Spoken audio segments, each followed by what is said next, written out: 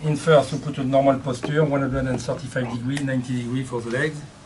You maintain the pelvis straight. Need to focus the iliolumbar ligament. The iliolumbar ligament superior is from L4, he finish little more posterior than the uh, iliolumbar ligament inferior.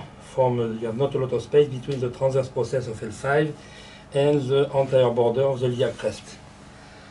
The iliolumbar the, uh, uh, superior ligament, when you want to pump it, you work with the uh, posterization of the ilium.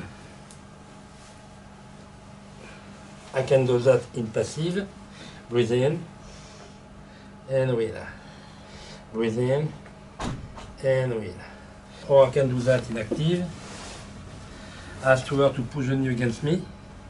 Because I fix the pelvis, the ilium go in posterization.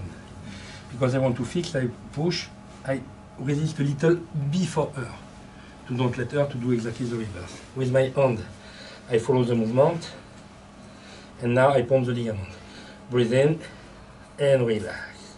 Push and relax. Push and relax.